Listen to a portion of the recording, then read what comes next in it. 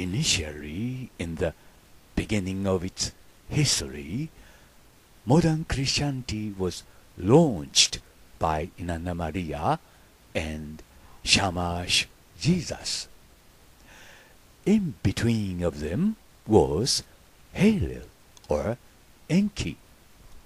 The proof is a sketch drawn by Agostino Veneziano. The number 1502 1520 was hidden in the sketch. Number 15 is a sacred number of Inanna Maria. 02 or 20 is a sacred number of Utu Shamash. In ancient Hebrew, you can read from both ways. Then, the two people depicted in the Agostino Veneziano's painting are Inanna Maria and Shamash Jesus. Also, what is drawn in the center looks like a dragon god, but it is not clear. Now, IHS is the acronym for the three gods Inanna, Halil, and Shamash. That's why most of Roman Catholic popes write IHS in their coat of arms. The current Roman Catholic coat of arms is a combination of the Venus or the coat of arms of Inanna Maria and the Sun or the coat of arms of Shamash Jesus. But the tragedy is that Enki was murdered by Enlil and his son Nergal. The proof is a statue of Mitra. Enlil stabbed Enki bull with a dagger on which you can see the face of Enlil and then Nergal attacked Enki with his three pets of a scorpion, a snake, and a dog. The statue of Mitra is not that Mitra is killing the bull, but that Mitra is trying to pull out a dagger from the bull to rescue and save the life of the bull, Enki.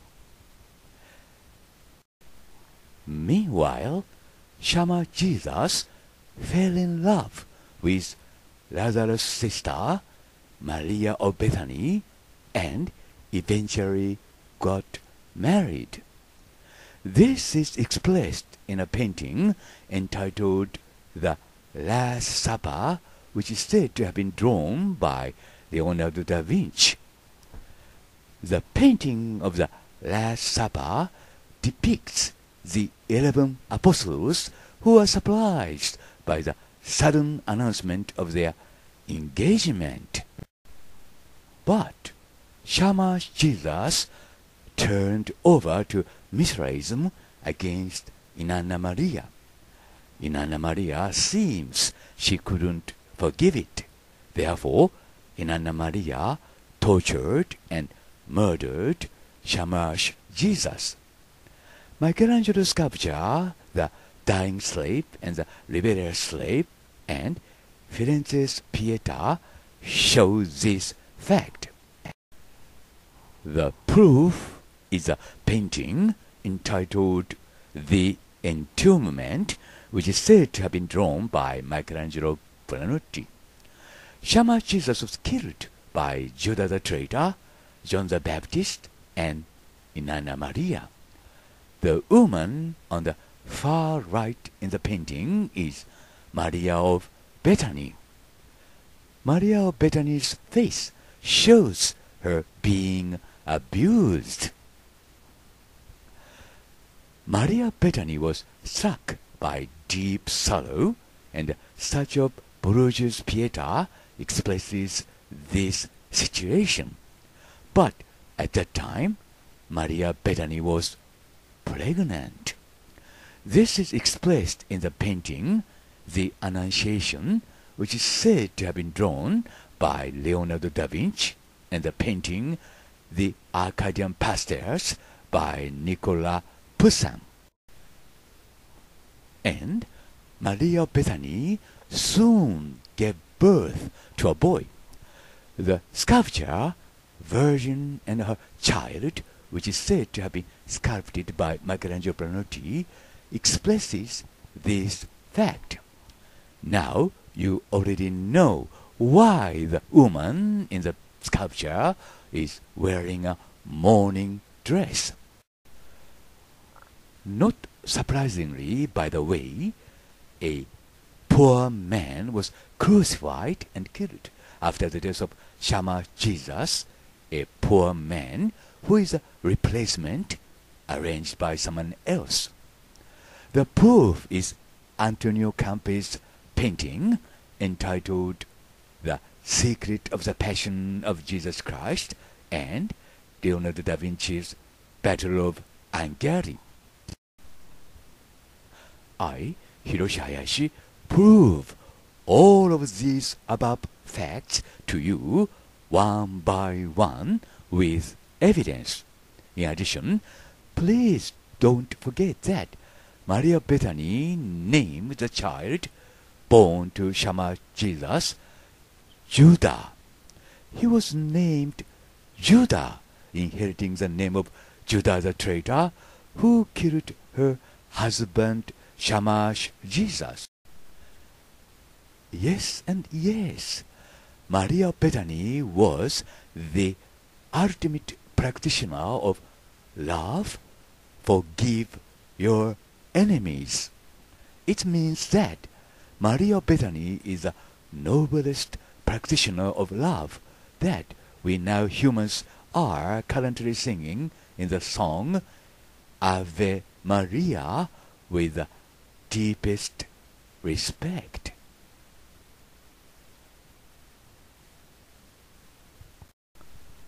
当初現在のキリスト教はイナンナ・マリアとシャマーシュ・イエスによって立ち上げられましたその間にいたのがヘイレルつまり延期ということになりますその証拠はアゴスティノ・ベネチアーノが描いたスケッチ画ということになります。そのスケッチ画の中には1502という数字が隠されていました。15つまり15はイナンナ・マリアの申請数です。02反対に読んで20は打つシャマー氏の申請数です。古代ヘブライ語は左右自由に読み書きする習わしになっていました。アゴスティノ・ベネチアーノの絵の中に描かれている人物は左側イナンナ・マリアと右側シャマーシュイエスということになります。またその中央に書かれているのは龍神のようにも見えますがいまいち明確ではありません。その3人の神の頭文字を並べると IHS になります。ローマンカトリックの歴代の法王がその紋章の中に IHS と書き込んでいるのはそういう理由によるものです。また現在のローマンカトリックの紋章はイナンナ・マリアの金星の紋章とシャマーシュイエスの太陽の紋章を合体させたものです。注意深くご覧ください。がその延期はエンリルとエンリルの息子のネルガルによって殺害されます。その証拠がミトラ像ということになります。エンリルが延期延期ブルつまり延期お牛の首に探検を突き刺し続いてネルガルがサソリヘビ犬を使って延期を攻撃しています。そのミトラ像はミトラがお牛を殺しているのではなくお牛を助けるためにお牛から探検を抜こうとしている像ということになります。一方シャマーシュイエスはラザロの妹と恋をしやがて結婚します。その様子を表現したのがダ・ヴィンチが描いたとされる「最後の晩餐」と題された絵画です。突然の婚約発表に驚いている11人の人たちの様子が描かれています。この中には裏切り者のユダの姿はありませんがそのシャマーシイエスはイナンナ・マリアにとっては敵ともいえるミトラ教に寝返ってしまいます。イナンナ・マリアはそれを許せなかったものと思われます。そこでイナンナ・マリアはシャマーシュイエスを虐待し殺害します。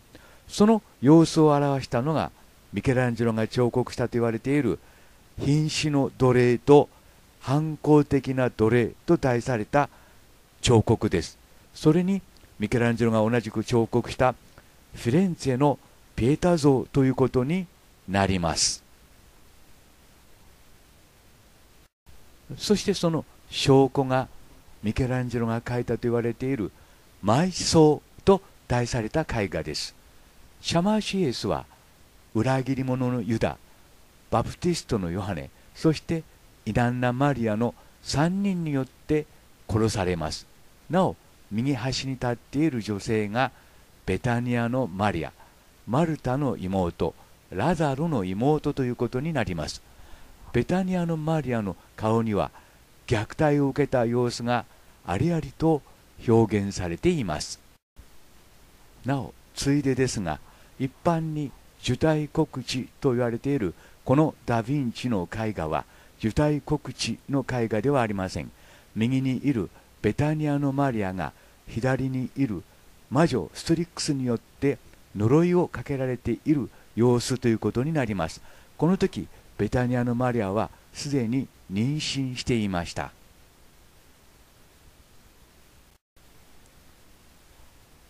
ベタニアのマリアは深い悲しみに襲われますがその様子を表現したのがブルージェのピエタ像ですがその時ベタニアのマリアは妊娠していたということになります。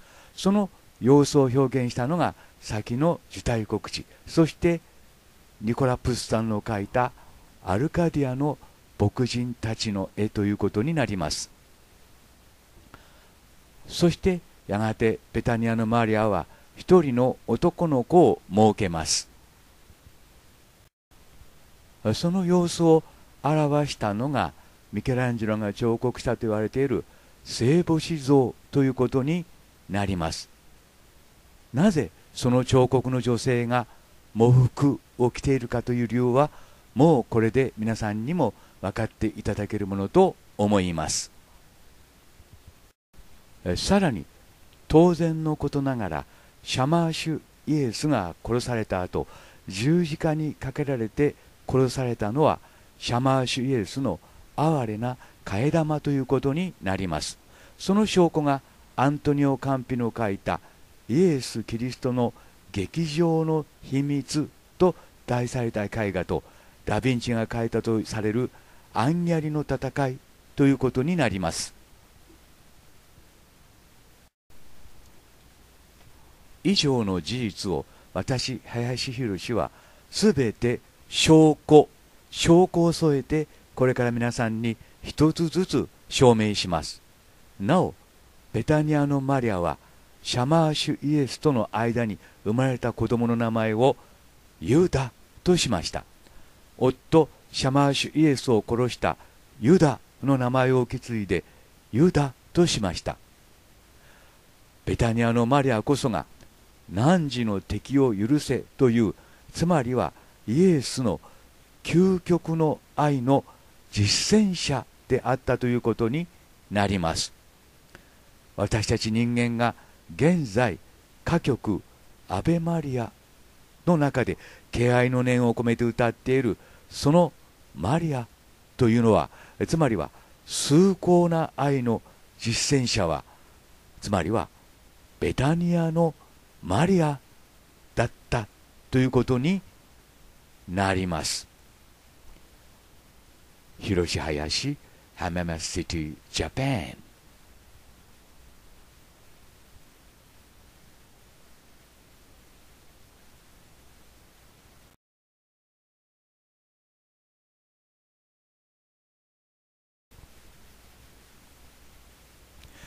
ラファエロ・サンティオ left behind a very strange painting. A painting of a woman whose toes are three. Then, who is this woman? I, Hiroshi Hayashi, have judged that this woman is Maria Bethany, wife of Shamash Jesus. Then, why is this woman the wife of Shamash Jesus? And why does this woman have three toes? Behind this mystery is the darkest and deepest mystery that was so big that it overturned the whole history of present Christianity.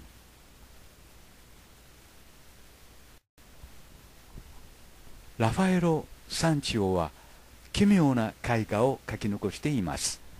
足の指が3本の女性の絵画です。で、その女性は誰かということになりますが、私、林博は、シャマーシュイエスの妻のベタニアのマリアであると判断しています。では、なぜこの女性がシャマーシュイエスの妻なのか、そしてなぜこの女性の足の指が3本なのか、この謎の向こうには現在のキリスト教史をひっくり返すほど大きな謎が隠されていました。広志林浜松シティジャパン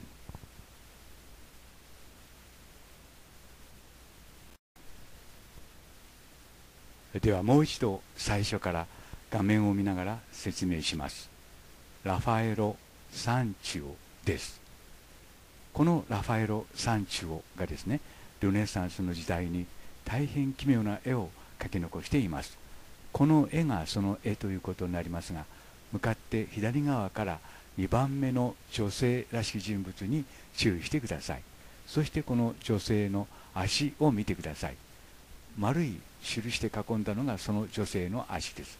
消去法で足を消していくとですね今丸で囲んだまあ、この足の持ち主は左から2番目の人物の足ということになります。3本指でですね鍵爪になっています。つまり普通の人間の足ではないということになります。ではなぜこのような足をラファエロ・サンチオは描いたということになります。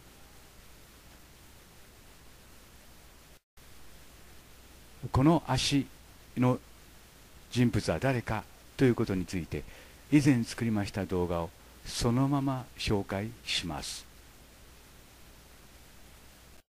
ではこの足の人物は誰かということになりますこれもこの、まあ、人物も果たして果たしてということになりますけども、えー、ラファエロはその証拠をこの絵の中に残しましたこの足の人物はこの左から二人目の人物の足ということになります左右の人には2本ずつ足があります。つまりこの赤枠で囲った人の足ということになります。ここが今日の結論部分ということになりますから注意深くご覧ください。この3本指の足の人物は、この人物の足ということになります。そしてこの手を見てください。マラヌスの手です。シグナム・マラーノです。中指と薬指がくっついています。中指と薬指がくっついています。同じ手をミケランジェロなる芸術家を通してですね、1500年後のイエスは、ピエタ像の中で表現しています。このマリアの手に注意してください。マリアの手に注意してください。左右反転してみました。やはり中指と薬指がくっついています。シグナム・マラーノです。マラノの手です。つまり、左のピエタ像のこの手はマリアの手ですから、右のラファエロの書いたこの人物もマリアということになるのです。この人物はマリアということになります。つまり、ラファエロも、まあ、ラファエロというよりもですね、1500年後のイエス・キリストは、ラファエロという画家を通して、まあ、この人物がマリアであることを示しました。が、マリアといっても、ベタニアのマリア、マルタの妹のベタニアのマリア、つまり、シャマーシュイエスの妻ということになります。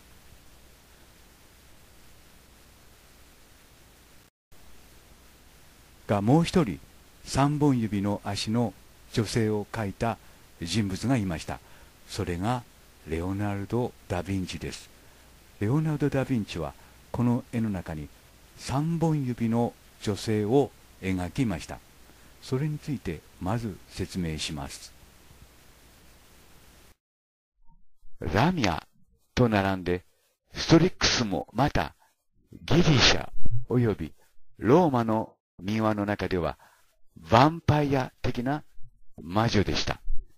特に幼児や子供を好んで食べていましたが、時に荒野を一人で旅する孤独な人を襲って食べたとも言われています。ダヴィンチは受胎告知の中でマリアはそのストリックスであったということを表現しましたが、ラファエロ・サンチオもまた自分の絵画の中でマリアはストリックスであったということを表現していました。広島屋市浜祭りジャパン今ご覧いただいているのはですね、マリアの下にあるものがカーペットなのか台なのかというところです。で、マリアの赤い衣服の垂れ具合からしてですね、これはカーペットであると判断しました。一見すると台のようにも見えますが、カーペットです。そのカーペットの下からは、マリアの三本指の足が覗いています。注意深くご覧ください。このフクロウの置物の下ですね。その下に三本指の足が見えています。レオナルド・ダ・ヴィンチなる1500年後のイエス・キリストの操り芸術家はですね、このような形でマリアは魔女であることを示しました。三本指の足です。バイ・林博士の発見です。えこれが足ですね。一見すると4本のようにも見えますが、私は3本指の足と判断しました。下が同じくレオナルド・ダ・ヴィンチが表現した解剖図ですけども、一般にはこれは熊の足と言われていますけども、熊の足ではありません。で、もう一度この絵を見ていただきたいんですけども、この足がこのように出ていると、私はそのように判断しました。まあ、隠し絵、騙し絵の手法ですね。まあ、このような形でレオナルド・ダ・ヴィンチなる画家を通して1500年後のイエス・キリストはマリアは魔女であることを示しました。つまり、マリアは、えー、ストリックスであることを示しました。が、ここでも注意しなければならないことはですね、マリアといっても右側の人物はベタニアのマリアだということです。シャマーシュイエスの妻のベタニアのマリアだということです。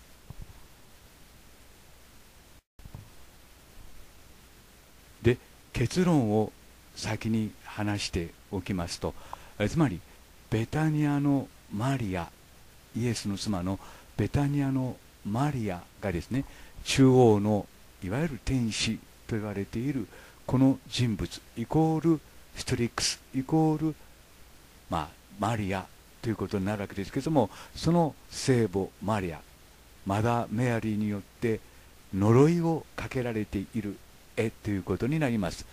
右の人物は一般には聖母マリアの、まあ、絵と言われこの絵はですね受胎告知を受けている絵というふうに説明されていますがそうではないということです。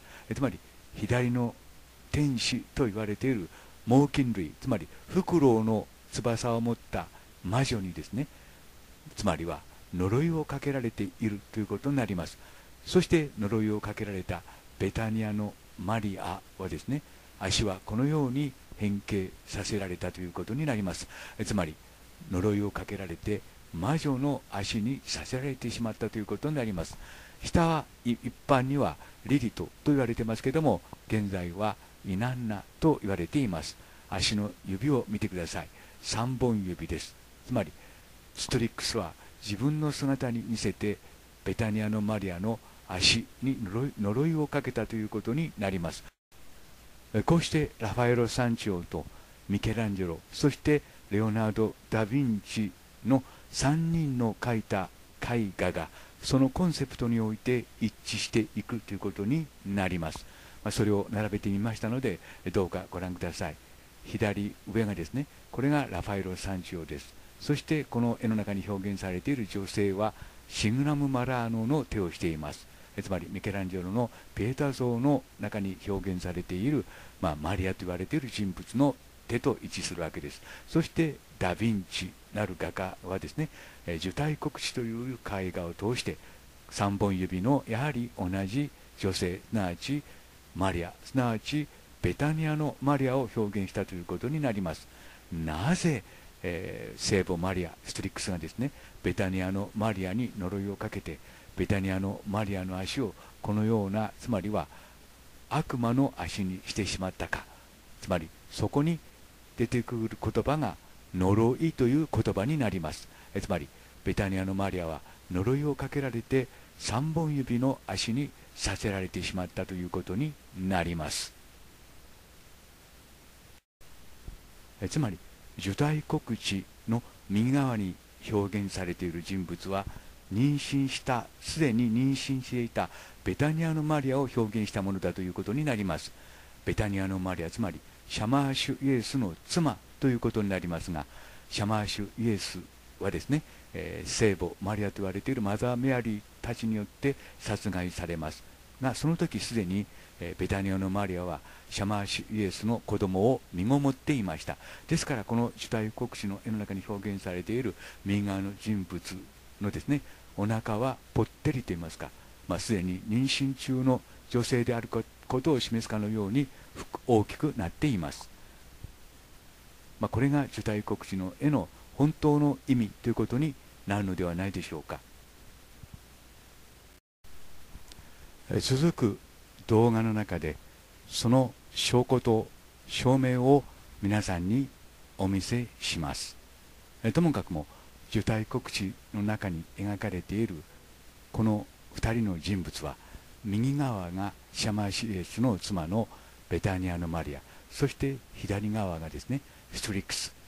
まあ、猛禽類の羽を持ったもっと分かりやすく言えばフクロウの羽を持った魔女ということになります。つまりこの左の人物こそがですねマダー・メアリーイナンナ・マリアを象徴的に表現した天使ということになります。つまり魔女ということになります。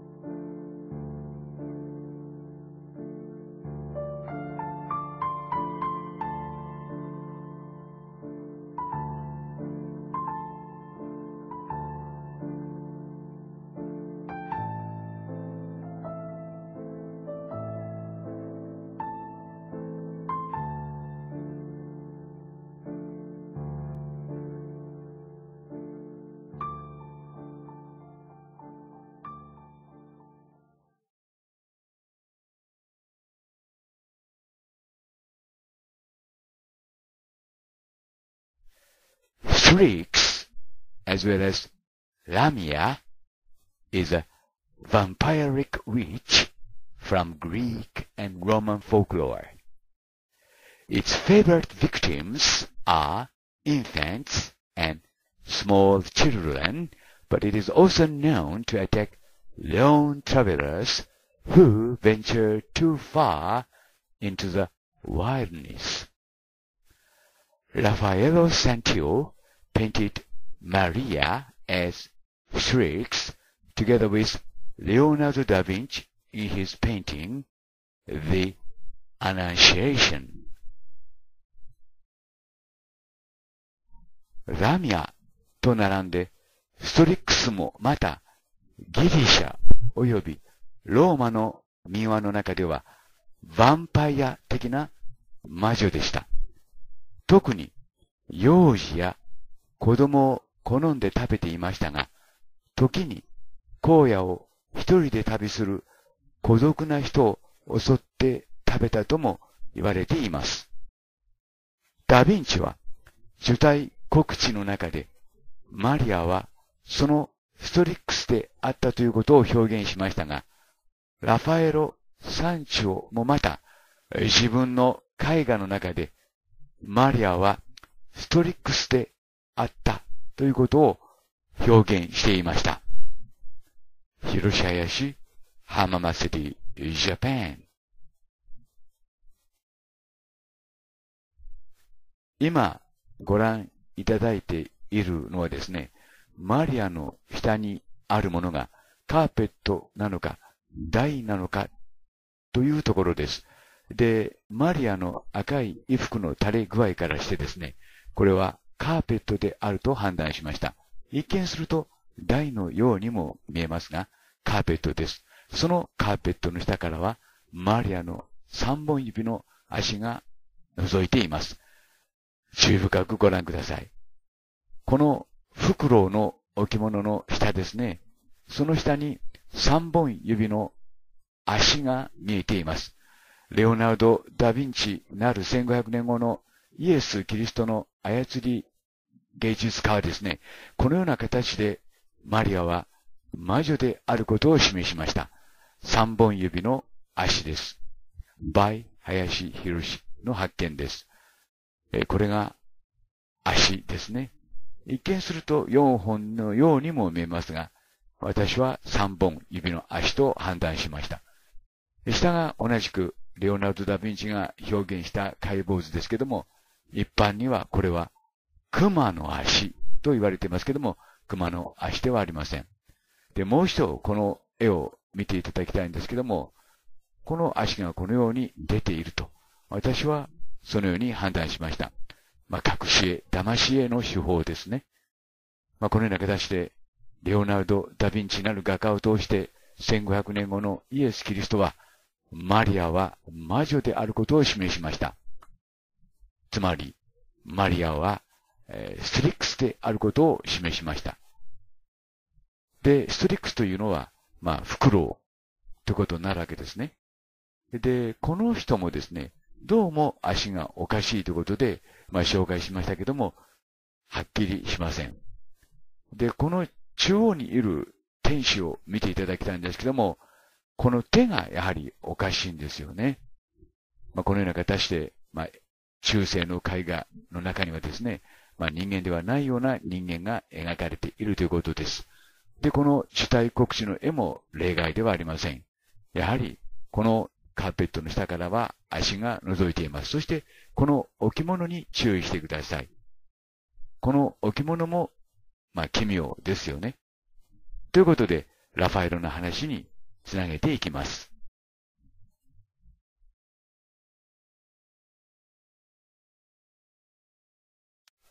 ラファエロ山頂もまた三本指の、まあ、奇妙な人物を描いています。これがその絵です。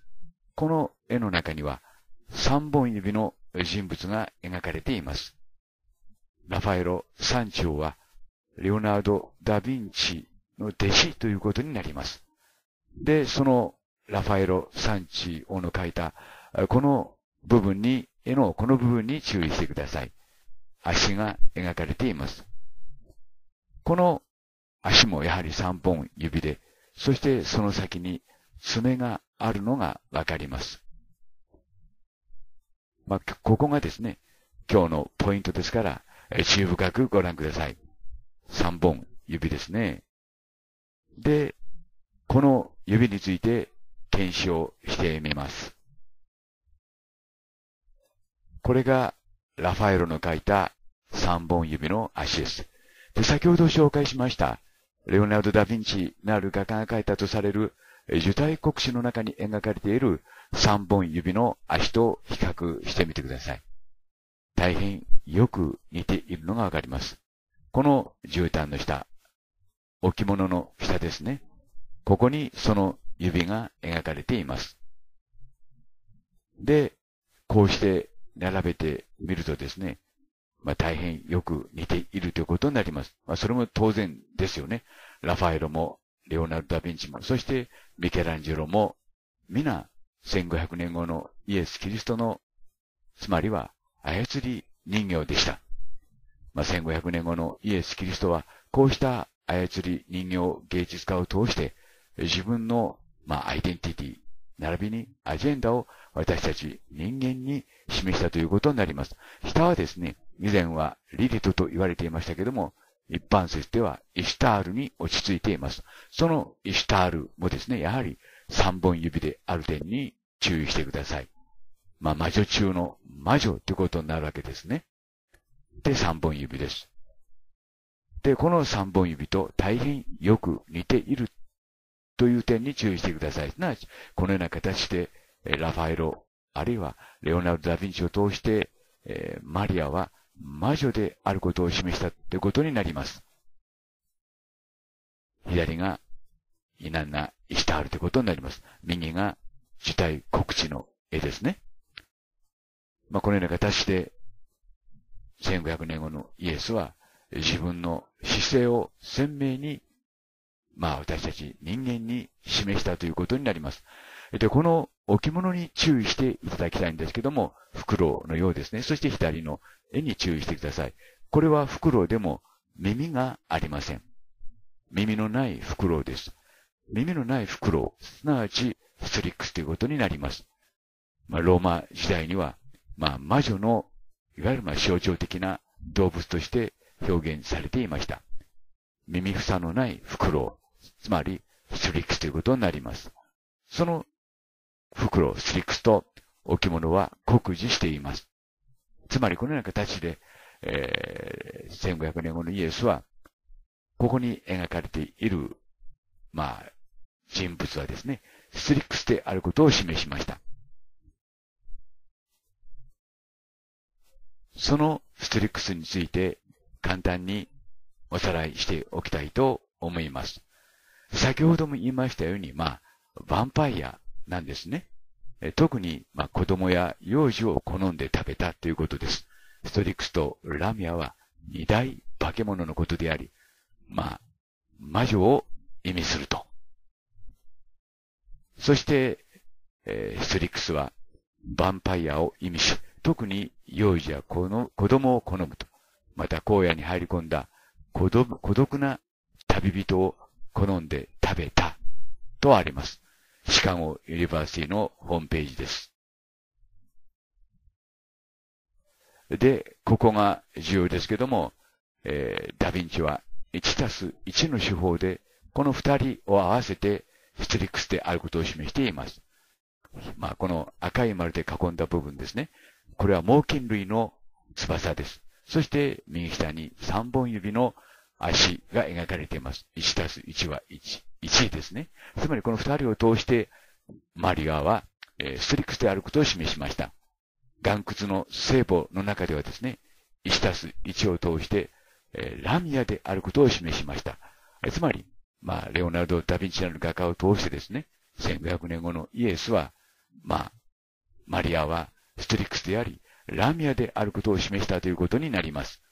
まあ、今日は、その、えー、ラミア説については、えー、割愛させていただきます。ともかくも、主体国史の中で、二人合わせて一人の、えー、魔女、すなわち、ストリックスであることを示したということになります。では、この足の人物は誰かということになります。これも、この、まあ、人物も果たして、果たしてということになりますけども、えー、ラファエロはその証拠をこの絵の中に残しました。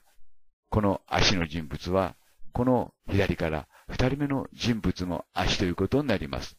左右の人には二本ずつ足があります。つまりこの赤枠で囲った人の足ということになります。ここが今日の結論部分ということになりますから注意深くご覧ください。この三本指の足の人物は、この人物の足ということになります。そしてこの手を見てください。マラヌスの手です。シグナム・マラーノです。中指と薬指がくっついています。中指と薬指がくっついています。同じ手をミケランジェロなる芸術家を通してですね、1500年後のイエスは、ペータ像の中で表現しています。このマリアの手に注意してください。マリアの手に注意してください。左右反転してみました。やはり中指と薬指がくっついています。シグナム・マラーノです。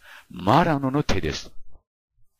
つまり、左のペータ像のこの手は、マリアの手ですから、右のラファエロの書いたこの人物もマリアということになるのです。この人物はマリアということになります。つまり、ラファエロも、まあ、ラファエロというよりもですね、1500年後のイエス・キリストは、ラファエロという画家を通して、まあ、この人物がマリアであることを示しました。もともと、それら芸術家の上に立つ1500年後のイエス・キリストの作品ですから、このようにアジェンダが一致していたとしても、何らおかしくないということになります。もう一度、以前作りました動画を皆さんに確認のためにご覧いただきます。これは997号で発表した動画です。ここにある置物は何かということですね。まあ、一見すると、まあ、フクロウのように見えますが、よく見ると、やはりフクロウのように見えます。まあ、フクロウなんですね。まあ、このような形で、えー、1500年後のイエスは、ここに描かれているのは、フクロウなんだよということを示しました。そしてその置物の下にですね、三本指の足が覗いています。フクロウと魔女とは大変仲が良かったようですね。えー、ハリー・ポッターの中でもフクロウがあちこちに出てきます。ともかくもフクロウですよね。で、左のこの、まあ、いわゆる天使と言われている人の背中を見ていただきたいんですけども、この翼は猛禽類の翼です。まあ、いわゆるまあ肉食性の動、まあ鳥のですね、翼ということになります。まあ、その代表格が言うまでもなく、フクロウということになります。翼をしっかりと見てください。フクロウですね。まあ、猛禽類の中でも、フクロウの羽そのものであるということです。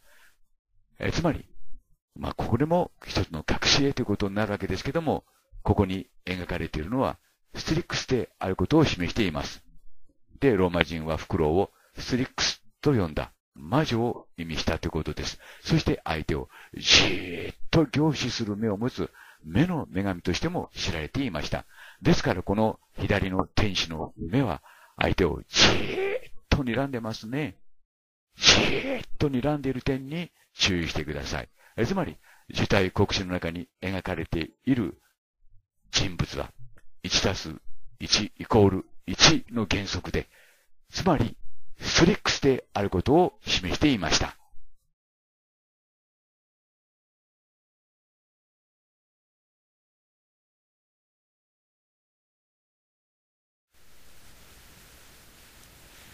The FAG Gallery's official website writes about the angel in the middle of Leonardo's painting, The Annunciation, as follows. Archangel Gabriel kneels before the Virgin, profiling a lady. The Virgin responds from a dignified seat behind a lectern at which she was reading. The traditional religious theme has been set by Leonardo in an earthly, natural setting. However, my interpretation of this painting is completely different.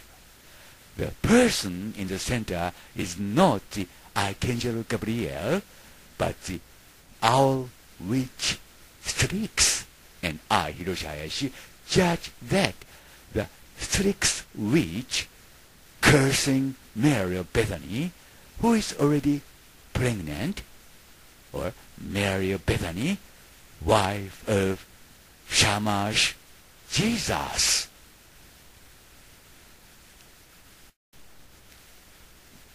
ダ・ヴィンチの描いた受胎国地の中央に書かれている天使についてフィジ・ギャラリーの公式サイトは次のように説明しています。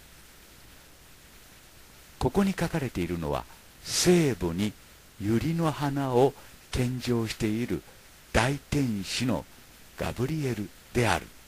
聖母は読書台の後ろにある威厳ある椅子からそれに応えている。ダ・ヴィンチは受胎告知という伝統的なテーマをごく自然な形で表現していると。が私のこの絵の解釈は全く違ったものです。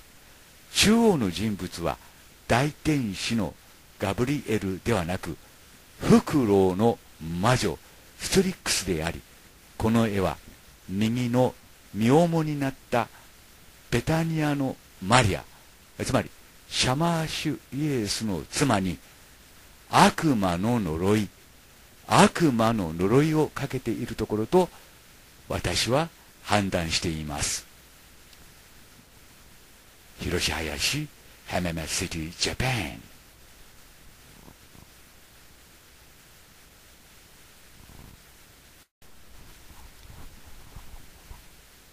ローマ時代に最も恐れられた魔女。それがフクロウの姿をしたストリックスです。このストリックスの特徴は餌となる人間をじーっと凝視して一般には死の呪いをかけて相手を殺してそして食べるあるいは食べたと言われています。あくまでも神話上の魔女ということになりますがこれがストリックスです。そのストリックスをレオナルド・ダ・ヴィンチはですね受胎告知の絵の中央に描いていました。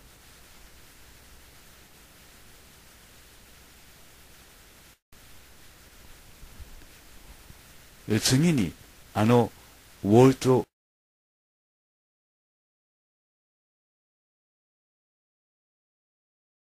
A Tale of Shamash Jesus 1. Fallen Love Shamash Jesus fell in love with Lazarus and Martha's sister, Maria of Bethany. シャマーシュイエスの物語1慣れ初め シャマシュイエスはラザルとマルタの妹のベタニアのマリアと恋に落ちます。広し林ハメマシティジャパン2 Marriage シャマ・チーザス gathered 11 disciples excluding Judah the traitor Mary Maria of Bethany. The painting entitled The Last Supper shows this. 2. 結婚シャマーシエスは裏切り者のユダを除く11人の弟子を集めてベタニアのマリアと結婚しますその様子を表したのが最後の晩餐と題された絵画です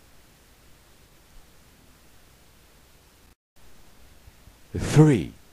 Curse Maria of Bethany became pregnant but was cursed by the witch Strix or Inanna Maria. A painting entitled The Annunciation shows this. 3. 呪いそのベタニアのマリアは妊娠しますが魔女ストリックスつまりイナンナ・マリアによって呪いをかけられますその様子を表したのが受胎告知と題された絵画です 4. Murder シャマ・チーザス・ murdered by イナナ・マリア、ジョン・ザ・バプティスト、and ジュダ・ザ・トレイター。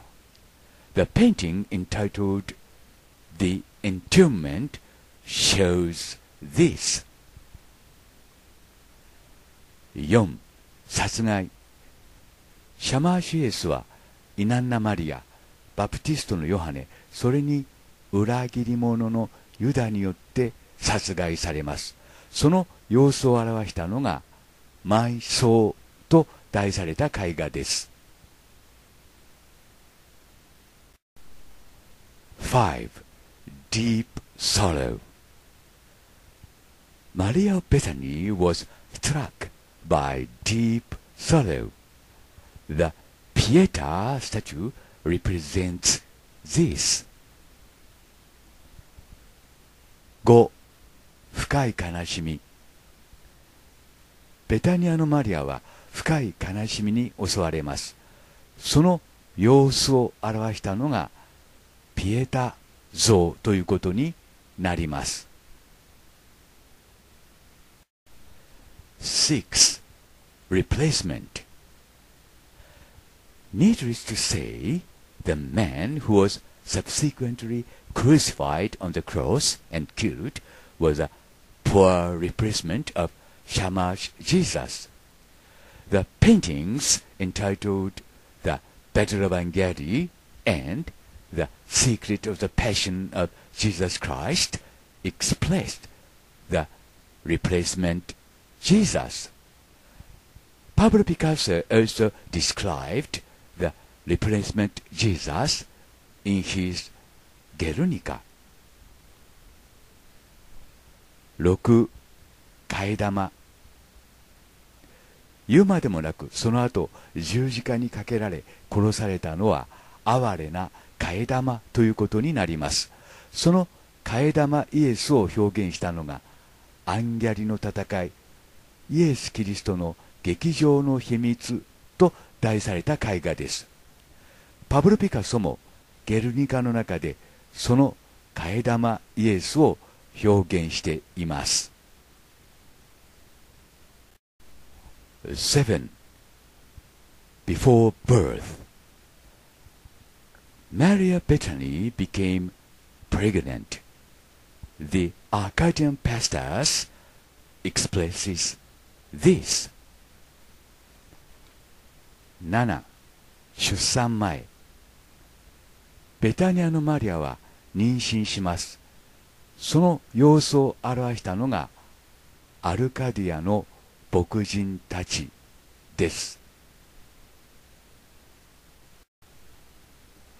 8.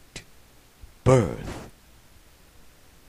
And Maria of Bethany gave birth to a boy. Madonna and Child shows this. 8. 出産そしてベタニアのマリアは一人の男の子を出産しますそれを表現したのが聖母子像ということになります。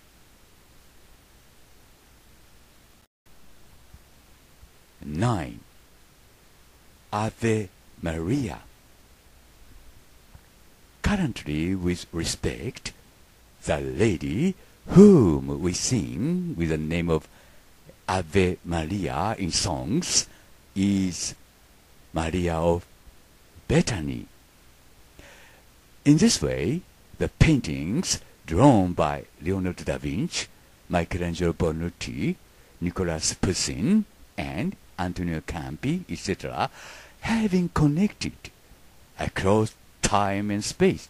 Again, across time and space, like pictures of a scroll story. Q. アベ・マリア現在私たちが敬愛の念を込めてアベ・マリアと歌曲で歌うアベ・マリアというのはベタニアのマリアということになりますこうしてダ・ヴィンチミケランジェロプッサンカンピなどの描いた絵画が絵巻物語のように時空を超えてもう一度時空を超えてつながりました。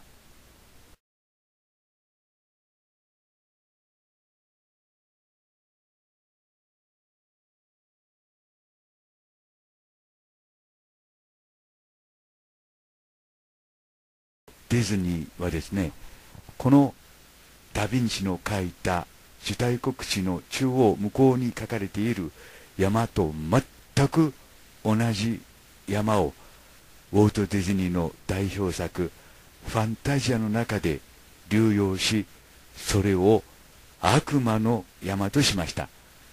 なぜウォルト・ディズニーがそんなことをしていたかということについては大きな大きな謎が残りますがともかくも事実としてウォルト・ディズニーはですねダ・ヴィンチの主体国地の中央向こうに書かれている山と全く同じ山を自分の短編映画のファンタジアの中に流用しそれを悪魔の山としていたということです。その動画をこれから紹介しますのでまずそれをご覧になってください。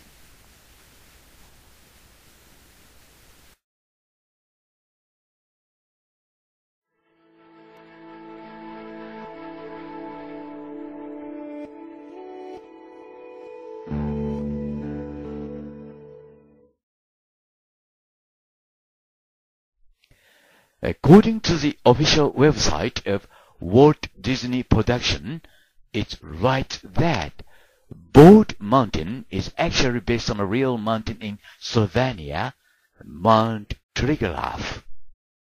It is where the supernatural dwell, as well as the Black God himself.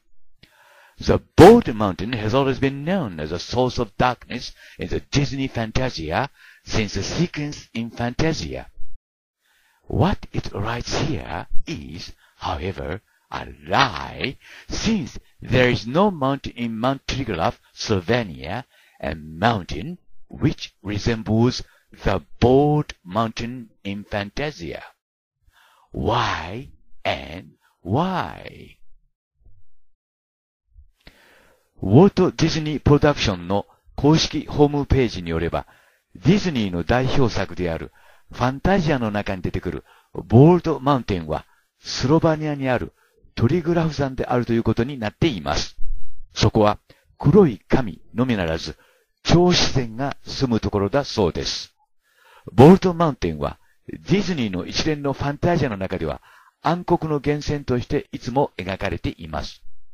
しかし、トリグラフ山のどこを探しても、ボールドマウンテンと同じ、あるいはそれに似たような山はありません。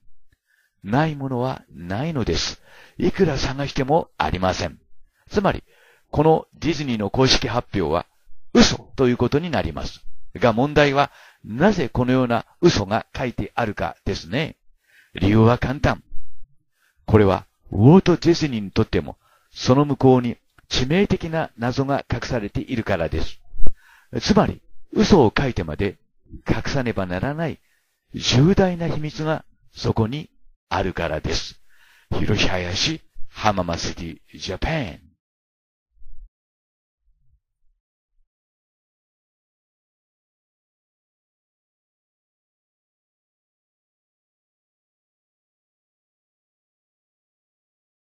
Hiroshi Hayashi's line theory is a theory that proves that they were created artificially, not by nature effect, by proving that it is impossible that they were created by nature. Here is an example of a line that connects Easter Island, Moria Island, Tahiti, Pohnpei Island, Guam Island, Lumbini, where they say Buddha was born and raised up, Mohenjo-daro, and Mekakaba. These places are on the same straight line, and you may say that it is just a coincidence that they are on the same straight line. But how many times can you say that it's just a coincidence before you realize it is not? I just wonder. 一本の直線が作る不思議な位置関係を、 それを様々な方向から検証し、それが偶然ではありえないことを証明しながら、つまり自然によってできたものでないことを証明しながら、それらの位置が偶然にではなく意図的に配置されたことを証明していくのが林博のライン理論ということになります。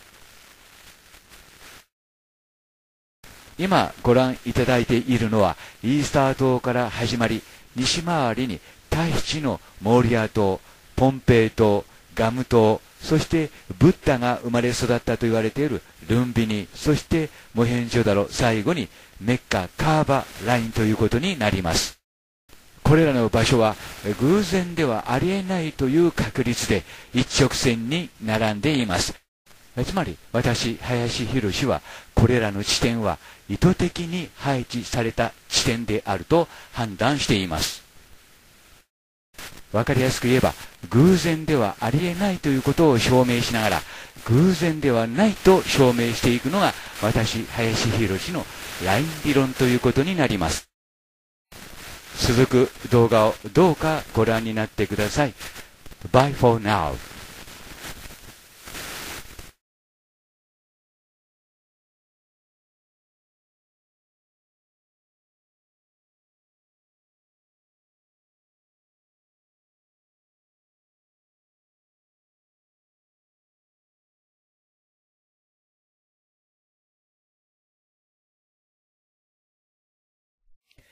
According to the official website of Walt Disney Production, it's right that Board Mountain is actually based on a real mountain in Slovenia, Mount Triglav. It is where the supernatural dwell, as well as the black god himself. The Board Mountain has always been known as a source of darkness in the Disney Fantasia since the sequence in Fantasia. What it writes here is, however, a lie, since there is no mountain in Mount Triglav, Slovenia, a mountain which resembles the bold mountain in Fantasia. Why and why? ウォルト・ディズニー・プロダクションの公式ホームページによれば、ディズニーの代表作である ファンタジアの中に出てくるボールドマウンテンはスロバニアにあるトリグラフ山であるということになっています。そこは黒い神のみならず超自然が住むところだそうです。ボールドマウンテンはディズニーの一連のファンタジアの中では暗黒の源泉としていつも描かれています。しかし、トリグラフ山のどこを探しても、ボールドマウンテンと同じ、あるいはそれに似たような山はありません。ないものはないのです。いくら探してもありません。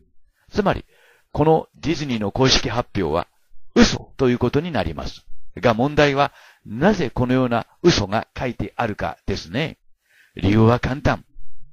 これは、ウォート・ディズニーにとっても、その向こうに致命的な謎が隠されているからです。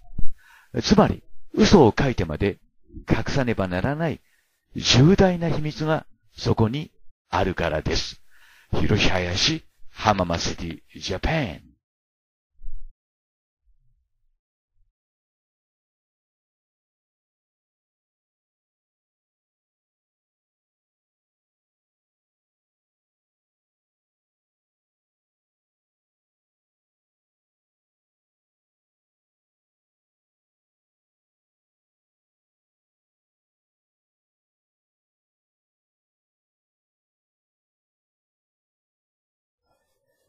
It is very strange to know that Walt Disney drew the same Devil's Mountain in his work, Fantasia, the same mountain as a mountain in the Annunciation, painted by Jesus Christ after 1500 years under the puppet name of Leonardo da Vinci.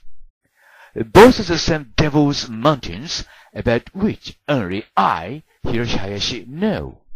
This indicates two alternative possibilities. One is that Walt copied the mountain in the Annunciation, or another one is that both mountains were painted by the same artist, or Jesus Christ after 1500 years and after 2000 years. ウォルト・ディズニーは 代表作ファンタジアの中で1500年後のイエスが描いた受胎告知の中に出てくる山と同じ山を描いています。ダヴィンチなる操り人形が描いたのではありません。1500年後のイエスです。共に悪魔の山です。受胎告知の山が悪魔の山であることを発見し、それを知っているのは私、林博士だけです。ここが重要です。ウォルト・ディズニーはファンタジアの中で悪魔の山を描きました。悪魔の山です。一方、1500年後のイエスは受胎告知の中で同じく悪魔の山を描きました。その中に表現されているマリアとガブリエルなる天使は1たす1イコール1の魔女です。その証明は別のところで私、林博士がしましたが、その受胎告知の中に出てくる山は、ウォルト・ディズニーの書いた山と一致します。左右反転はしてありますが、一致します。つまり、ウォルト・ディズニーは受胎告知の中に書いている山が悪魔の山であることを知っていたことになります。が、そのこと、つまり、受胎告知の中に書かれている山が悪魔の山であることを発見したのは私、林博士であって、私がそれを発見するまでそれを知っていた人はいません。もちろん、ウォルト・ディズニーですら知り得なかった事実です。となると、可能性は二つです。わかりますか？一つは、ウォルトが1500年後のイエスの書いた山をコピーしたか、あるいは2000年後のイエスがウォルトを操り人形として悪魔の山、つまりボルトンマウンテンを書いたかのどちらかだということになります。広し林浜松セリジャパン。ここが重要ですからもう一度画面を見ながら説明します。左の山が受胎国書の中に表現されている山です。そして右下二人の人物に注意してください。これはですね、1たす1イコール1の手法でですね、二人の人物合わせて一人の魔女、すなわちマリアであることを示しています。林博士が証明しました。そして右がですね、ウォルトが代表作、ファンタジアの中で書いたボールズマンテ、すなわち悪魔の山ということになります。この両者は全く同じということになります。ここが重要なポイントですから皆さん自身で確認してください。全く同じです。となりますと、ウォルトは左の絵をコピーしたかということになりますけども、しかし、ウォルトはこの山を同じく悪魔の山として表現しています。となると、ここでおかしなことが起きるわけですね。えー、受胎告知の中の山がですね、悪魔の山であるとはあ証明したのはこの林博士であって、私以前には誰も知らなかったはずです。もちろん、ウォート・ディズニーも知る由もなかったことですね。が、なぜ、えー、ウォート・ディズニーはですね、この山を悪魔の山としたかということになります。すなわち、悪魔の山であることを知っていたということになります。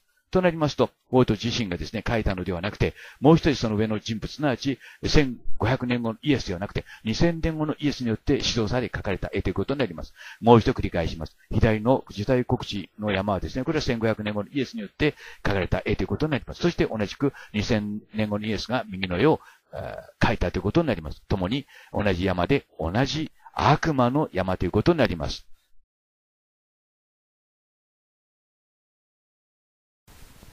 いよいよ本論ということになりますが、その前に一つ断っておきます。今ご覧になっている動画はですね、私がですね、つまりあの受胎告知の絵についてなんですけども、右に描かれているのが聖母マリアであると判断していた時に作った動画です。が今回ですね、私はですね、一つの結論として中央に描かれているその人物は大天使のガブリエルではなくてですね魔女のストリックスであると判断しました。となるとその右に座っている女性は聖母マリアではなくてストリックスによって死の呪いをかけられたベタニアのマリアであると判断しました。つまりそのような判断をする前に作成した動画であるという点ことですその点をどうかご留意の上この動画をご覧になってください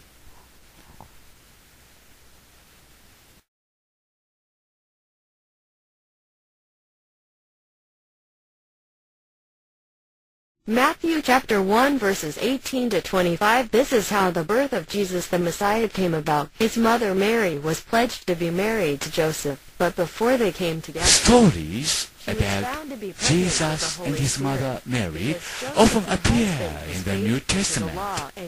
The word Mother Mary also appears, but all of the stories are based solely on Mary's testimony. Joseph, her husband, died shortly before Jesus returned from the Radon is training.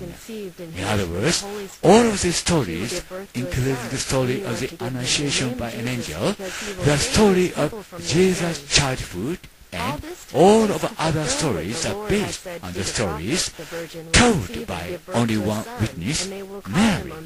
In other words, there is no other witness except Mary who supports these stories. Simply, all of these stories are written down by the disciples who heard Mary's stories.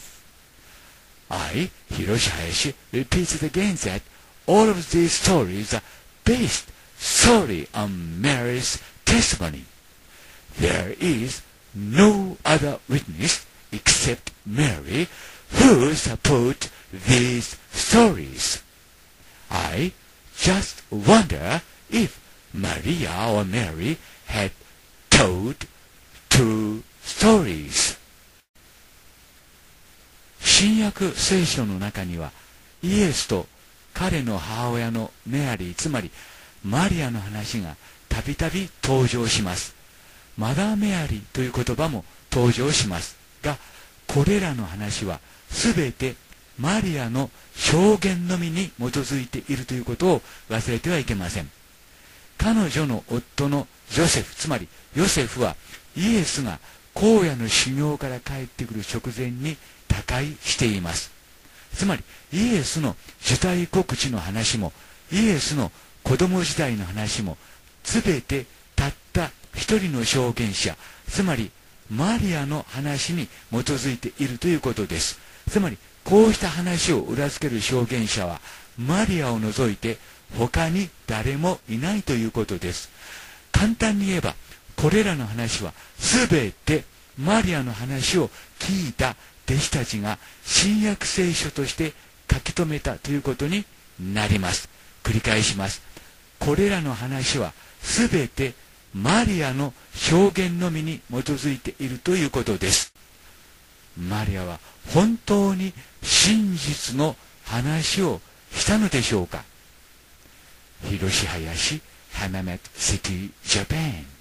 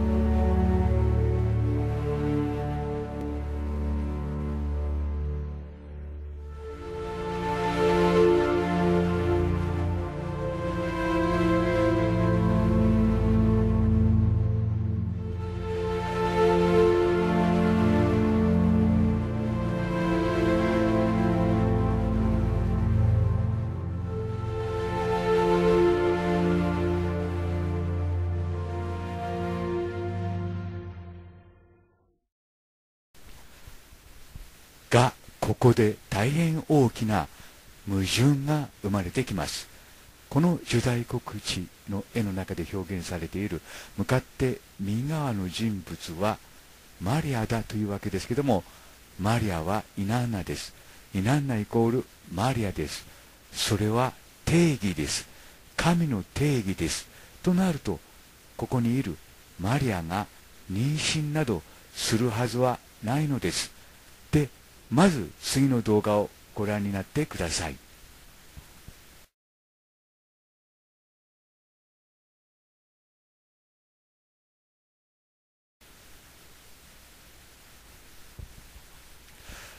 Leonardo da Vinci hid many secret messages in his own paintings. For example, the number 61 was hidden upside down on the background of the picture of Saint Jerome. 61 stands for God in Jewish gematria. The character depicted here is generally considered to be Saint Jerome because it has a white lion below it. But it is God himself, or a self-portrait of God, not Saint Jerome. Similarly, the number 51 was hidden in these pictures of the Virgin of the Rocks, Mona Lisa, the Virgin and Child with Saint Anne, and Madonna of the Pinks. 51 stands for the planet Mars in Jewish gematria. Then I, Hiroshi Hayashi, have recognized that these pictures are somehow related to the planet Mars. For example, in the background of the paintings of both Mona Lisa and young Mona Lisa or Idleworth Mona Lisa, you may see panoramic views of Mars, though the scene of Mars in Mona Lisa is upside down. They are accurately represented as in the photo. In the same way, I decided that the background of the paintings of the Virgin and Child with St. Anne and Madonna of the Pinks also had Martian landscapes. So, when I looked it up, the scenery matched the views of the ice caps of Mars photographed by NASA on Mars. Together with these facts, I recognized that a strange building is hidden in the background of version of the rocks. But I suspect that this building is part of an underground base on Mars. Finally, the number 131 was hidden in the adoration of Maggie. After all, it is written in inverted letters. 131 stands for Inanna according to Jewish gematria. Inanna is the ancient Sumerian goddess. So, in this way, Leonardo showed that the alleged Maria in the picture was Inanna. Both St. Jerome and the Adoration of Maggie are called unfinished masterpieces, but note that the numbers 61 and 131 in the two pictures are both written upside down in the same typeface. Thus, the painter Leonardo, who appeared in the Renaissance, left many important messages for us human beings of the future. In a series of videos here, it is my pleasure that I can explain what these numbers actually stand for. レオナルド・ダ・ヴィンチは彼自身の絵の中に多くの秘密の伝言を隠し込みました例えば聖ジェロームの絵の背景には61という数字が逆さまに書かれていました。61はユダヤのゲマトリアでは神を意味します。一般には下に白抜きのライオンが書かれているためここに書かれている人物は聖ジェロームであると考えられていますが聖ジェロームではありません。神自身です。神自身の自画像です。同じように岩窟の聖母モナ・リザ聖アンと聖家族カーネーションのマドンナの絵の中には51という数字が隠し込まれていました。51はユダヤのゲマトリアでは火星を意味します。つまりこれらの絵は何らかの形で火星と関係があるということになります。例えばモナ・リザの絵の背景には火星の大地の様子が上下逆さまですが写真のように正確に表現されています。同じように考えると聖安と聖家族カーネーションのマドンナの絵の背景にも火星の風景が描かれていると私は判断しました。で調べてみるとその風景は NASA が火星で撮ってきた火星の氷管の様子と一致しました。なお岩窟の聖母の背景には奇妙な建物が隠し込まれていますが私はこの建物は火星にある地下基地の一部ではないかと考えています。最後に、東方三博士の礼拝の絵の中には131という数字が隠し込まれていました。やはり逆さ文字で書かれています。131はユダヤのゲマトリアによればイナンナイナンナを意味します。古代シュメールの女神イナンナです。つまりこのような形でレオナルドはその絵の中に書かれているマリアと思われる人物はイナンナであることを示しました。なお聖ジェローム東方三博士の礼拝も未完の対策と呼ばれていますがこれら2枚の絵の中に書かれている61と131は共に逆さ文字で書体が同じであることに注意してください。このようにルネサンスの時代に現れたレオナルド・ダ・ヴィンチという画家は私たち未来の人間に重要なメッセージを残しました。一連の動画の中で私はこれらの数字が何を意味するかそれを順に説明していきます。広し林浜松シテ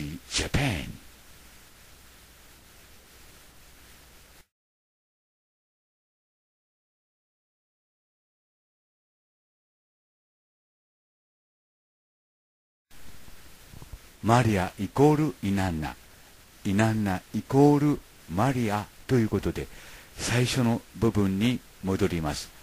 主体告知のこの絵の中にはですねつまり一般にマリアと言われている人物の足のところにはですね3本指の魔女の足が描かれています。となるとこの足をどう理解したらよいかということなんですよね。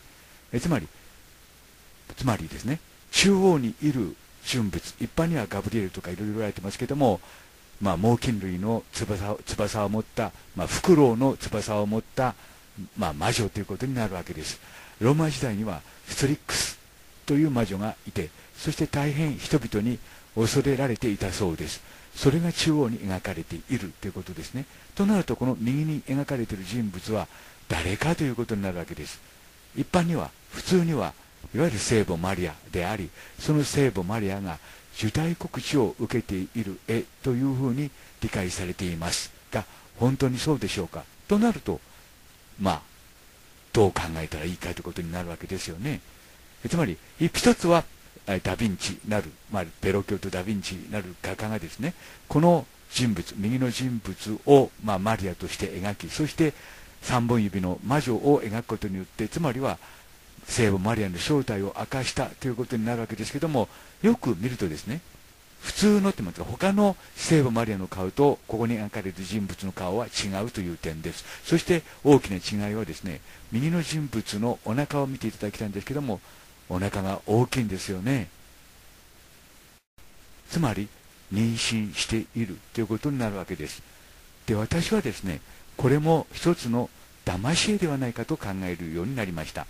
中央に描かれているストリックスこそがですね実はイナンナ・マリアであってですねその右に書かれているまあか弱い女性のようにような雰囲気で描かれている清楚なですねどこか清純っぽい女性で描かれているその人物はベタニアのマリアではないかと考えているわけです。で中央にいる、まあ、羽の生えたフクロウの羽を持った人物がリリトすなわちイナンナ。ということになるわけですよね、えー、古来リリトイコール、えー、例えばですね、えー、バルガータウルガータの聖書によればですねリリトイコールラミアということになっています。また、リリトもですね、最近はですね、多くの学者たちが、リリトイコールイナンナというふうに理解しています。となるとですね、中央に描かれている人物こそが、つまりはイナンナ・マリアということになってですね、右に書かれている人物は、まあ、ベタニアのマリアであると、私はそのように判断するようになりました。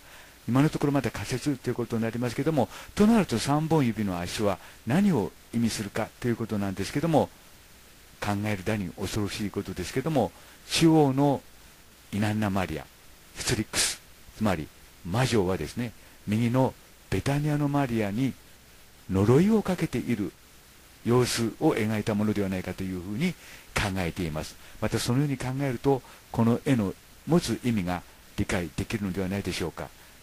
もう一度確認して終わります。左の人物こそがイナンナマリアであり、そして右の人物に呪いをかけているというわけですね。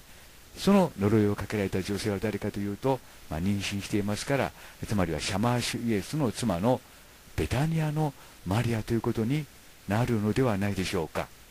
まあ、これがですね、この動画の一応の結論ということにします。最後にもう一度、この私がベタニアのマリアと考え始めているこの人物の足を見ていただきたいんですけどもまさに魔女の足を持ち始めている。つまりこのような形でですね中央の人物イナンナマリアが右のベタニアのマリアに呪いをかけている。というふうにも解釈できるということです。一応今のところは仮説ということにしておきますがつまりシャマーシュイエスにはベタニアのマリアという妻がいてそしてシャマーシュイエスはですね、えー、十字架にかけられ処刑される前にすでにイナンナマリアたちによって殺されていたという事実をですねこの絵の上に重ね合わせて考えてみるとですねそういう解釈もある。その可能性も高いということになるのではないでしょうか。まあ、ここではその可能性という言い方で終わりましたが最初の画像に戻ってみます。これがダ・ヴィンチとベロッキョの合作と言われている受胎国地の絵ですね。この丸い部分に3本指の、まあ、つまりは誰かが描かれているということになりますが当然この足はですね向かって右側の人物の足ということになります。3本指です、えつまりこの段階ですでに右のベタニアのマリアは呪いをかけられていたということになるわけです。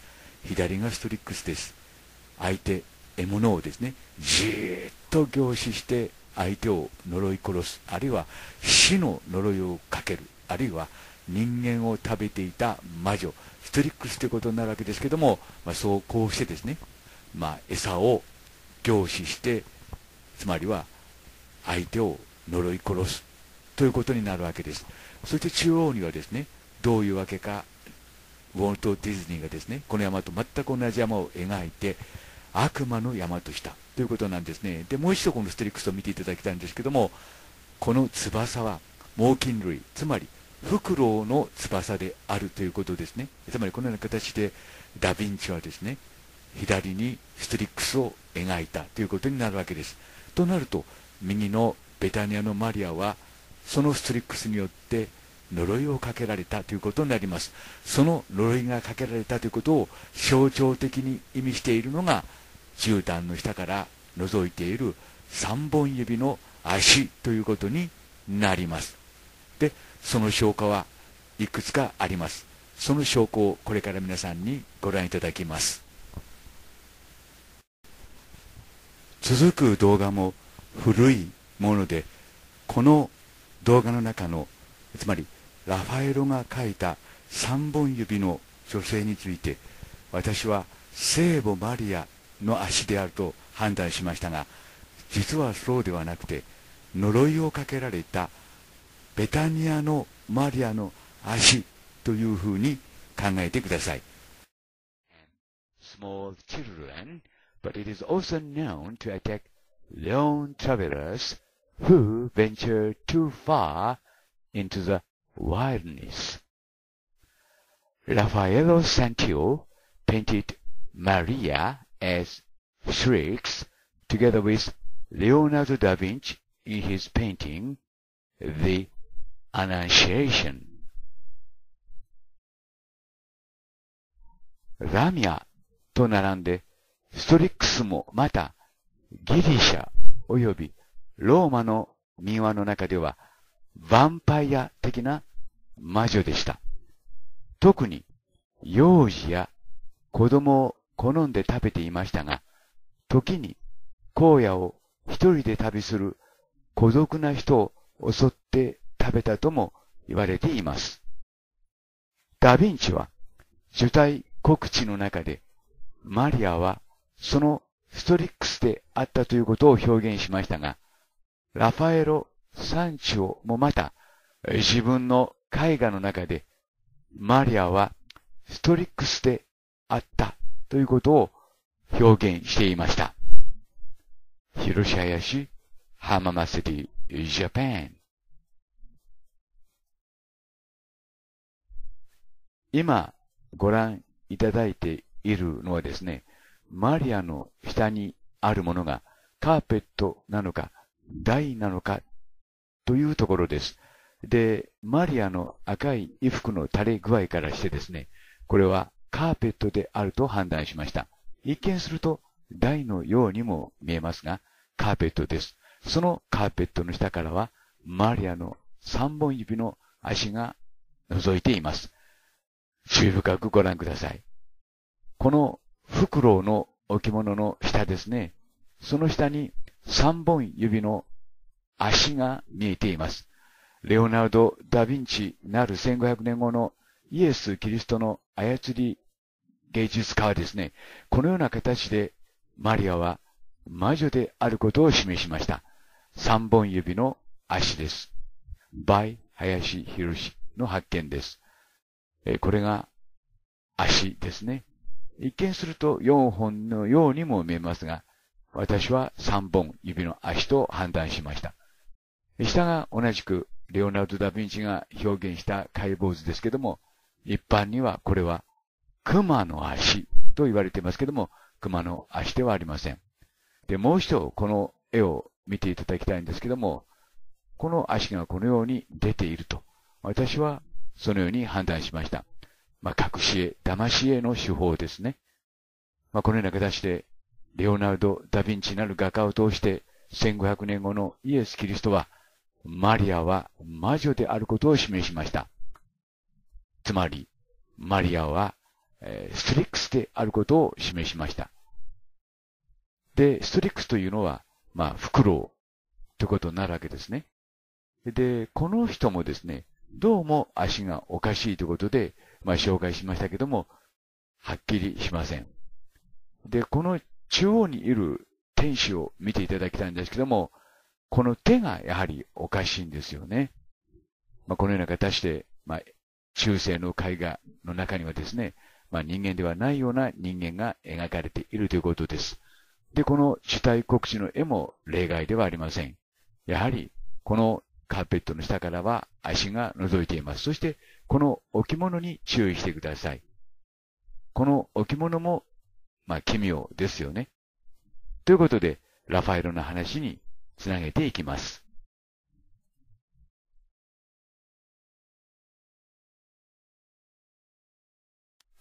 ラファエロ・サンチオもまた三本指の、まあ、奇妙な人物を描いています。これがその絵です。この絵の中には三本指の人物が描かれています。ラファエロ・サンチオはレオナルド・ダ・ヴィンチの弟子ということになります。で、そのラファエロ・サンチオの描いたこの部分に、絵のこの部分に注意してください。足が描かれています。この足もやはり3本指で、そしてその先に爪があるのがわかります。まあ、ここがですね、今日のポイントですから、注意深くご覧ください。3本指ですね。で、この指について検証してみます。これがラファエロの描いた3本指の足です。で、先ほど紹介しました、レオナルド・ダ・ヴィンチなる画家が描いたとされる、受胎国史の中に描かれている3本指の足と比較してみてください。大変よく似ているのがわかります。この絨毯の下、置物の下ですね。ここにその指が描かれています。で、こうして並べてみるとですね、まあ大変よく似ているということになります。まあそれも当然ですよね。ラファエロも、レオナルド・ダ・ヴィンチも、そしてミケランジェロも、皆1500年後のイエス・キリストの、つまりは操り人形でした。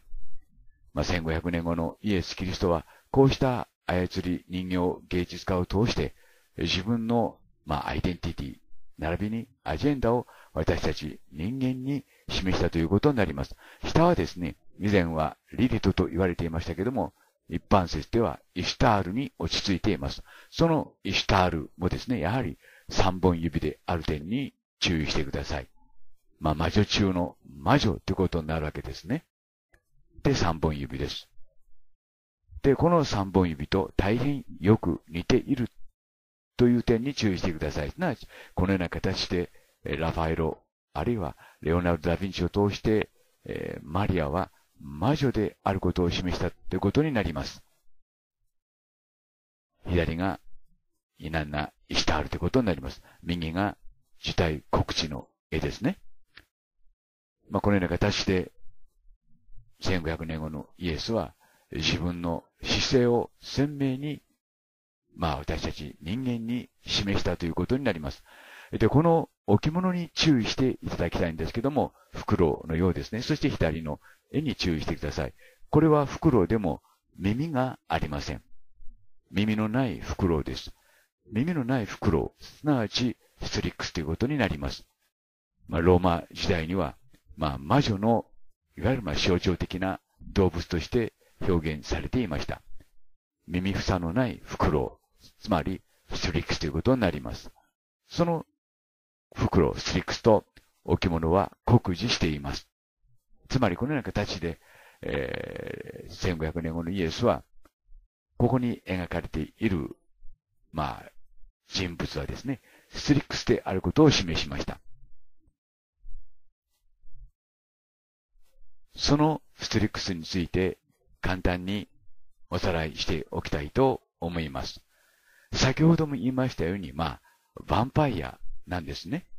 特に、まあ、子供や幼児を好んで食べたということです。ストリックスとラミアは二大化け物のことであり、まあ、魔女を意味すると。そして、えー、ストリックスはヴァンパイアを意味し、特に幼児や子の子供を好むと。また荒野に入り込んだ孤独な旅人を好んで食べたとあります。シカゴユニバーシティのホームページです。で、ここが重要ですけども、えー、ダヴィンチは1たす1の手法で、この2人を合わせてストリックスであることを示しています。まあ、この赤い丸で囲んだ部分ですね。これは猛禽類の翼です。そして右下に3本指の足が描かれています。1たす1は1。1ですね。つまりこの2人を通して、マリアは、えー、ストリックスであることを示しました。岩窟の聖母の中ではですね、1たす1を通して、えー、ラミアであることを示しました。つまり、まあ、レオナルド・ダ・ヴィンチなる画家を通してですね、1500年後のイエスは、まあ、マリアはストリックスであり、ラミアであることを示したということになります。まあ、今日は、その、えー、ラミア説については、えー、割愛させていただきます。ともかくも、主体国史の中で、二人合わせて一人の、えー、魔女、すなわち、え、ストリックスであることを示したということになります。では、この足の人物は誰かということになります。これも、この、まあ、人物も果たして、果たしてということになりますけども、えー、ラファエロはその証拠をこの絵の中に残しました。この足の人物は、この左から二人目の人物の足ということになります。左右の人には二本ずつ足があります。つまりこの赤枠で囲った人の足ということになります。ここが今日の結論部分ということになりますから注意深くご覧ください。この三本指の足の人物は、この人物の足ということになります。そしてこの手を見てください。マーラヌスの手です。シグナム・マラーノです。中指と薬指がくっついています。中指と薬指がくっついています。同じ手をミケランジェロなる芸術家を通してですね、1500年後のイエスは、ペータ像の中で表現しています。このマリアの手に注意してください。マリアの手に注意してください。左右反転してみました。やはり中指と薬指がくっついています。シグナム・マラーノです。マラノの手です。つまり、左のペータ像のこの手は、マリアの手ですから、右のラファエロの書いたこの人物もマリアということになるのです。この人物はマリアということになります。つまり、ラファエロも、まあラファエロというよりもですね、1500年後のイエス・キリストはラファエロという画家を通して、まあこの人物がマリアであることを示しました。もともと、それら芸術家の上に立つ1500年後のイエス・キリストの作品ですから、このようにアジェンダが一致していたとしても、何らおかしくないということになります。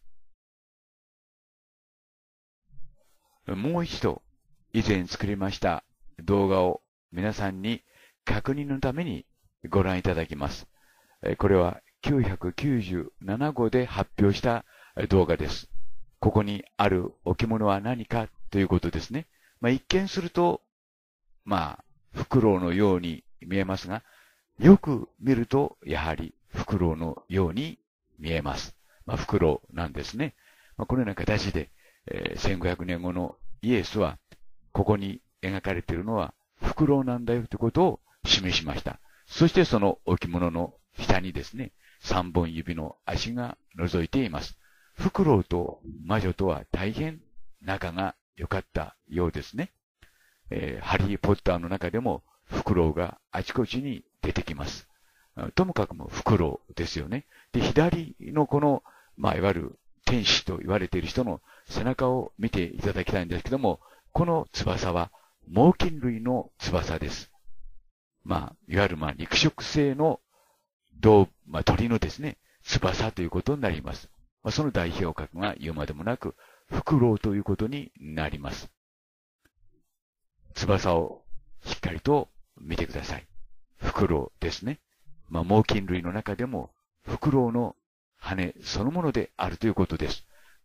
えつまり、まあ、ここでも一つの隠し絵ということになるわけですけども、ここに描かれているのは、ストリックスであることを示しています。で、ローマ人はフクロウをストリックスと呼んだ。魔女を意味したということです。そして相手をじーっと凝視する目を持つ目の女神としても知られていました。ですからこの左の天使の目は相手をじーっと睨んでますね。じーっと睨んでいる点に注意してください。つまり、受体国史の中に描かれている人物は1たす1イコール1の原則で、つまり、スリックスであることを示していました。